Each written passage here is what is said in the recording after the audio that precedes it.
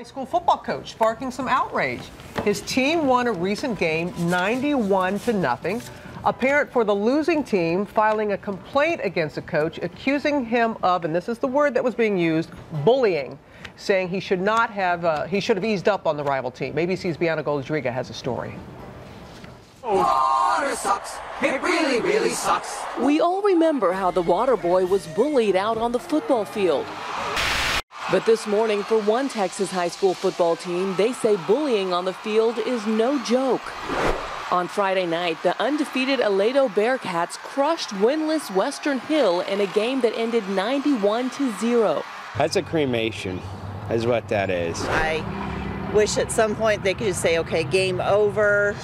One parent was upset enough to file a bullying complaint against the entire winning team's coaching staff, saying they should have eased up.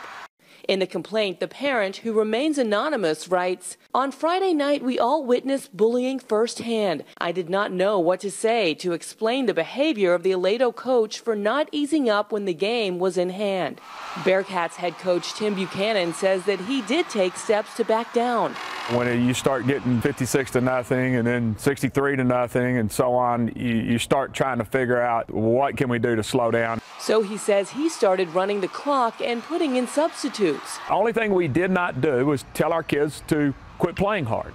I think one of the most important things we can do is teach children about resilience, how to lose gracefully and deal with those negative emotions. It is common in most middle and high school sport programs to implement a mercy rule, which brings a game to an early end if one team has a large lead over the other team. But in Texas, there is no such rule. Parents need to learn to let children fail and have negative emotions and bounce back and figure out how to handle that and, and you know, face the next day. For Good Morning America, Bianna Golodryga, ABC News, New York.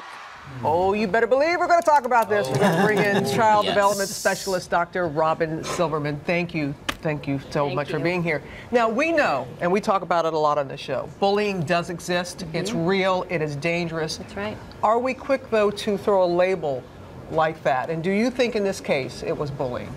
I think you're right that we do label it very quickly. When I am presenting to schools and to parents, I define bullying with ABCD. A, is it aggressive? Is it an attack? Physical, social, emotional. B is the balance of power unequal, older, younger, bigger, smaller. C is it consistent? Is it happening more than once over a period of time? And D is it deliberate? Is there an intention mm. to harm? And in this case, I do not believe that there was an intention to hurt or harm. We should point out this coach put his third string players in mm -hmm. before halftime. They ran the clock kept it running, no timeouts for the entire second half. It's a good team. It's a high scoring team. Yeah.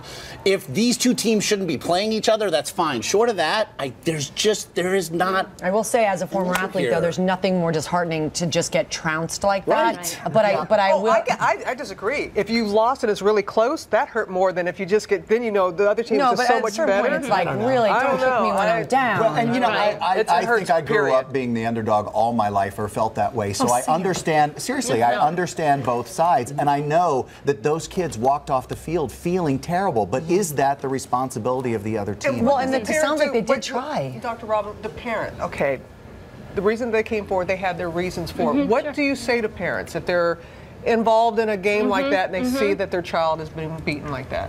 Use it as a lesson. Mm. This is a time to reframe. So talk to your child. Say, look, you failed to score, but that doesn't make you a failure. What I saw out there was somebody who had great character, who kept going no matter what happened. You're going to use that all throughout your life. Make sure that no loss beats you down, not in football yeah. and not in life. Yeah. Okay. That's good. good. Dr. Robin, thank you. You're welcome. Thank, thank you. you. Very helpful. Yeah. Those ABCDs mm -hmm. really helpful. Thank you.